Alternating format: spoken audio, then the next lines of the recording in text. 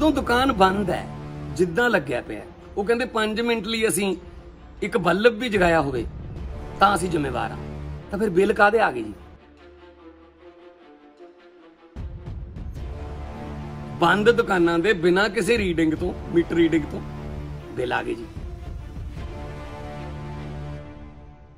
Corona ਦੇ ਮੋਢੇ ਤੇ ਧਰ ਕੇ ਲੋਕਾਂ ਦੀਆਂ ਜੇਬਾਂ ਤੇ ਡਾਕੇ ਵੱਜੇ ਨੇ। ਜਦੋਂ ਸੜਕ ਵਰਤੀ ਹੋਈ ਨਹੀਂ 2 ਮਹੀਨੇ, ਗੱਡੀ ਖੜੀ ਰਹੀ ਹੈ ਘਰੇ, ਸੜਕ ਤੇ ਗਈ ਨਹੀਂ, ਤਾਂ ਫਿਰ ਰੋਡ ਟੈਕਸ ਕਿਹੜੀ ਗੱਲ ਦਾ ਜੀ?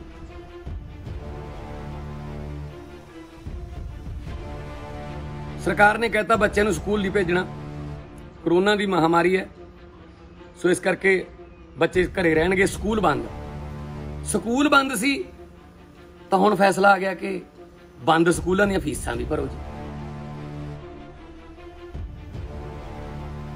ਆਮ ਆਦਮੀ ਪਾਰਟੀ ਪੰਜਾਬ ਦੇ ਪ੍ਰਧਾਨ ਤੇ ਸੰਗਰੂਰ ਤੋਂ ਮੈਂਬਰ ਪਾਰਲੀਮੈਂਟ ਭਗਵੰਤ ਮਾਨ ਨੇ ਪੰਜਾਬ ਸਰਕਾਰ ਤੇ ਨਿਸ਼ਾਨਾ ਸਾਧਿਆ ਉਹਨਾਂ ਕਿਹਾ ਕਿ ਪੰਜਾਬ ਸਰਕਾਰ ਨੇ ਪਹਿਲਾਂ ਤਾਂ ਲਾਕਡਾਊਨ ਦਾ ਹਵਾਲਾ ਦੇ ਕੇ ਲੋਕ ਭਲਾਈ ਦੀਆਂ ਸਾਰੀਆਂ ਸਕੀਮਾਂ ਬੰਦ ਕਰ ਦਿੱਤੀਆਂ ਤੇ ਲੋਕਾਂ ਨੂੰ ਰਾਹਤ ਦੇਣ ਦੇ ਨਾਂ ਤੇ ਵੱਡੇ ਵੱਡੇ ਪੈਕੇਜਾਂ ਦਾ ਐਲਾਨ ਕਰ ਦਿੱਤਾ।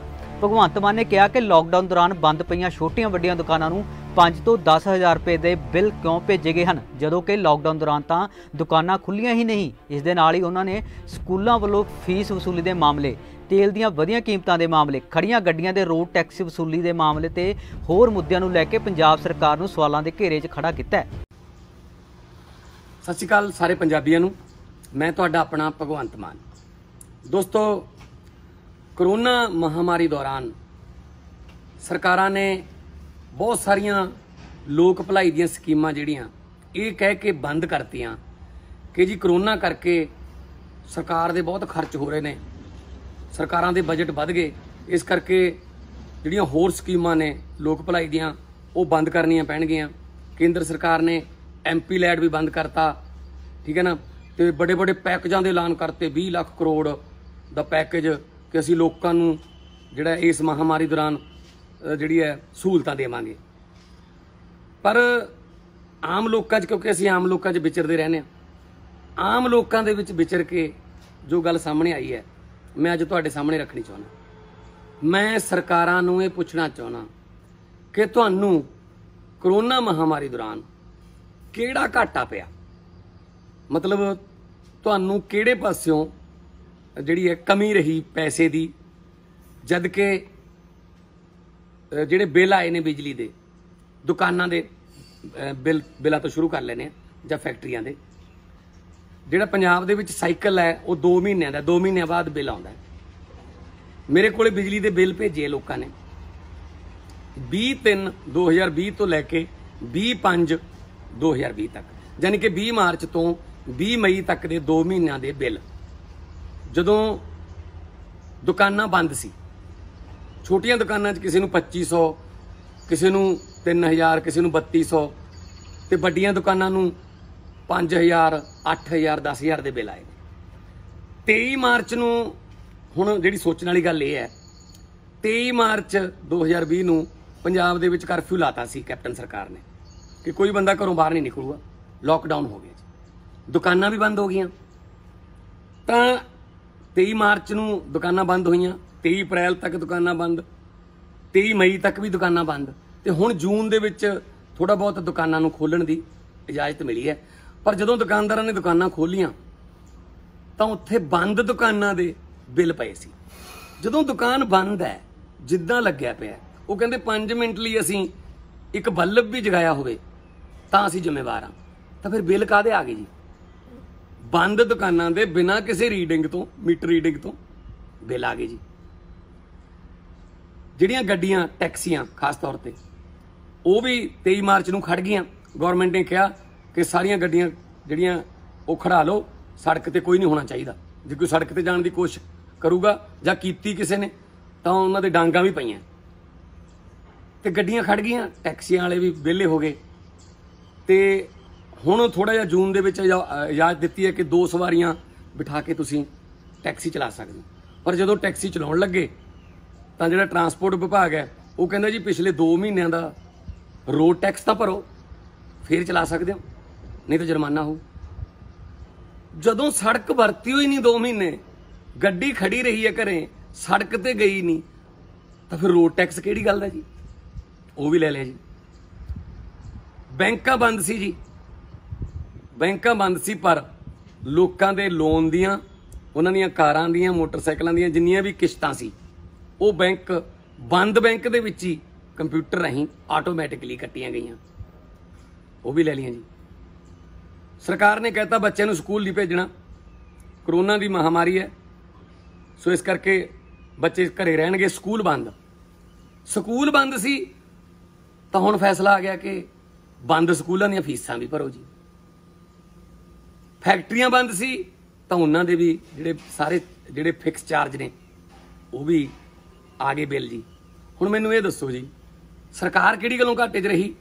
ਬੰਦ ਦੁਕਾਨਾਂ ਦੇ, ਬਿਜਲੀ ਦੇ ਬਿੱਲ ਲੈ ਲੇ ਬੰਦ ਸਕੂਲਾਂ ਦੀਆਂ ਫੀਸਾਂ ਲੈ ਲੀਆਂ ਖੜੀਆਂ ਗੱਡੀਆਂ ਦੇ ਰੋਡ ਟੈਕਸ ਲੈ ਲੇ ਬੰਦ ਫੈਕਟਰੀਆਂ ਦੇ ਫਿਕਸ ਚਾਰਜ ਲੈ ਲੇ ਤੇ ਘਰਾਂ ਦੇ ਬਿਜਲੀ ਦੇ ਬਿੱਲ ਵੀ ਆ ਗਏ, ਜਦਕਿ ਇਨਕਮ ਕੋਈ ਹੈ ਨਹੀਂ ਸੀ ਲੋਕਾਂ ਦੀ।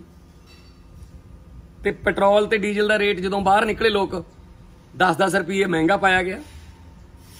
ਬੱਸਾਂ ਦੇ ਕਿਰਾਏ ਵਧਾ ਦਿੱਤੇ ਗਏ। ਮੇਰਾ ਸਵਾਲ ਇਹ ਹੈ ਕਿ ਸਰਕਾਰ ਨੇ ਜਿਹੜੇ ਪੈਕੇਜ ਲਾਣੇ ਸੀ, ਉਹ ਕਾਦੇ ਵਾਸਤੇ ਨੇ ਤੇ ਕਿੱਥੇ ਗਏ? ਲੋਕਾਂ ਤੋਂ ਤਾਂ ਇੱਕ ਪੈਸਾ ਵੀ ਨਹੀਂ ਛੱਡਿਆ ਉਗਰਾਹਣ ਕਨੀਓ।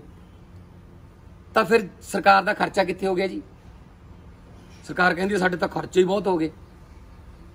ਸੋ ਇਸ ਕਰਕੇ ਇਹ ਸ਼ਰੇਆਮ ਲੁੱਟ ਹੋਈ ਹੈ। ਕਰੋਨਾ ਦੇ ਮੋਢੇ ਤੇ ਧਰ ਕੇ ਲੋਕਾਂ ਦੀਆਂ ਜੇਬਾਂ ਤੇ ਡਾਕੇ ਵੱਜੇ ਨੇ। ਬਿਜਲੀ ਦੇ ਬਿੱਲ ਵੀ ਆਏ ਨੇ ਈਐਮਆਈ ਕਿਸ਼ਤਾਂ ਵੀ ਭਰੀਆਂ ਨੇ ਲੋਕਾਂ ਨੇ ਆਟੋਮੈਟਿਕਲੀ ਕੱਟ ਲਈਆਂ ਉਹ ਤਾਂ ਬੈਂਕਾਂ ਨੇ। ਖੜੀਆਂ ਗੱਡੀਆਂ ਦੇ ਰੋਡ ਟੈਕਸ ਵੀ ਭਰਨੇ ਪੈ ਰਹੇ ਨੇ, ਸਕੂਲਾਂ ਦੀਆਂ ਫੀਸਾਂ ਵੀ ਦੇਣੀਆਂ ਪੈ ਰਹੀਆਂ ਨੇ। ਤੇ ਫਿਰ ਆਮ ਲੋਕ ਕਿੱਥੇ ਜਾਣ? ਜਾਨੀ ਕਿ ਲੋਕਡਾਊਨ 'ਚ ਲੋਕ ਜਿਹੜੇ ਸੀ, ਉਹ ਉਹ ਲੋਕ ਦੇ ਵਿੱਚ ਸੀ, ਪਰ ਜਿਹੜੇ ਬਿਜ- ਬਿੱਲ ਸਰਕਾਰ ਦੇ ਕਿਸੇ ਵੀ ਕਿਸਮ ਦੇ, ਉਹ ਸਾਰੇ ਅਨਲੌਕ ਸੀਗੇ। ਸੋ ਇਹ ਮੁੱਦਾ ਜਿਹੜਾ ਆਮ ਲੋਕਾਂ ਦਾ ਮੁੱਦਾ ਹੈ ਮਿਡਲ ਕਲਾਸ ਦਾ ਮੁੱਦਾ ਹੈ।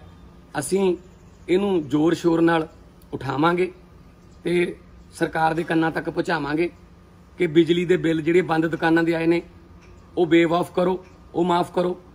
ਜਿਹੜੇ ਈਐਮਆਈ ਲੋਕਡਾਊਨ ਦੌਰਾਨ, ਜਦੋਂ ਕਿ ਤੁਸੀਂ ਤਾਂ ਕਿਹਾ ਸੀ ਕਿ ਸੜਕ ਤੇ ਨਹੀਂ ਜਾਣਾ, ਜਦੋਂ ਲੋਕਾਂ ਨੇ ਆਪਦੀ ਮਰਜ਼ੀ ਨਾਲ ਖੜਾਈਆਂ ਹੋਣ ਗੱਡੀਆਂ ਜਾਂ ਆਪਦੀ ਮਰਜ਼ੀ ਨਾਲ ਦੁਕਾਨਾਂ ਬੰਦ ਕੀਤੀਆਂ ਹੋਣ, ਤੁਹਾਡੇ ਆਰਡਰ ਸੀ ਸੋ ਲੋਕਡਾਊਨ ਦੀ ਪਾਲਣਾ ਕਰਨ ਦਾ ਇਹ ਜੁਰਮਾਨਾ ਜਿਹੜਾ ਉਹ ਨਾ ਲਿਆ ਜਾਵੇ ਲੋਕਾਂ ਤੋਂ। ਅਸੀਂ ਸਰਕਾਰਾਂ ਦੇ ਕੰਨਾਂ ਤੱਕ ਪਹੁੰਚਾਵਾਂਗੇ ਕਿ ਇਹ ਸਾਰੇ ਖਰਚੇ ਜਿਹੜੇ ਨੇ, ਉਹ ਮਾਫ ਕੀਤੇ ਜਾਣ।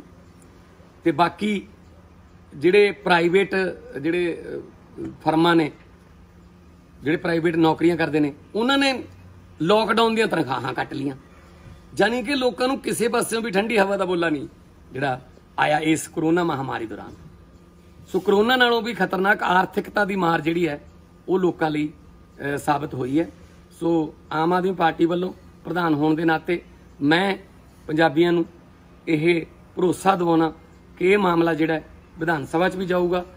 ਉਦੋਂ ਪਹਿਲਾਂ ਮੰਤਰੀਆਂ ਦੇ, ਮੁੱਖ ਮੰਤਰੀਆਂ ਦੇ, ਪ੍ਰਧਾਨ ਮੰਤਰੀਆਂ ਦੇ ਕੰਨਾਂ ਤੱਕ ਵੀ ਜਾਊਗਾ। ਇਹ ਸਾਡਾ ਫਰਜ਼ ਹੈ। ਸੋ ਇਸ ਮਹਾਮਾਰੀ ਦੌਰਾਨ ਜੋ ਆਰਥਿਕ ਤੌਰ ਤੇ ਨੁਕਸਾਨ ਹੋਏ ਨੇ ਉਹਨਾਂ ਦੀ ਗੱਲ ਬਾਅਦ ਚ ਕਰਾਂਗੇ। ਪਹਿਲਾਂ ਜਿਹੜੀ ਸਰਕਾਰਾਂ ਨੇ ਡਾਕੇ ਮਾਰੇ ਨੇ ਘੱਟੋ ਘੱਟ ਉਹਨਾਂ ਵਾਸਤੇ ਤਾਂ ਅਸੀਂ ਰਖਵਾਲੀ ਕਰ ਸਕਦੇ ਹਾਂ। ਅਸੀਂ ਤੁਹਾਡੇ ਨਾਲ ਖੜਾਂਗੇ। ਆਉਣ ਵਾਲੇ ਦਿਨਾਂ 'ਚ ਅਸੀਂ ਤੁਹਾਨੂੰ ਅਗਲਾ ਪ੍ਰੋਗਰਾਮ ਦੇਵਾਂਗੇ। ਤੇ ਆ ਜਿਹੜੀਆਂ ਮੈਂ ਗੱਲਾਂ ਕੀਤੀਆਂ ਨੇ, ਇਹ ਜਿਹੜੀਆਂ ਮਾਰਾਂ ਪਈਆਂ ਨੇ ਜੇਬਾਂ ਤੇ, ਇਹ ਘੱਟੋ ਘੱਟ ਇਹ ਇਹਨਾਂ ਤੋਂ ਹੀ ਬਚਾਅ ਹੋ ਜੇ, ਤਾਂ ਲੋਕ ਥੋੜੇ, ਥੋੜਾ ਜਿਹਾ ਸੌਖਾ ਸਾਹ ਜਿਹੜਾ ਲੋਕਾਂ ਨੂੰ, ਉਹ ਇਸ ਮਹਾਮਾਰੀ ਦੌਰਾਨ ਆਉਣ ਲੱਗ ਜੂਗਾ। ਅਸੀਂ ਲੋਕਾਂ ਦੇ ਨਾਲ ਖੜਾਂਗੇ। ਸਤਿ ਸ਼੍ਰੀ ਅਕਾਲ। ਬਿਊਰੋ ਰਿਪੋਰਟ ਚੜ੍ਹਦੀ ਕਲਾ ਟਾਈਮ ਟੀਵੀ।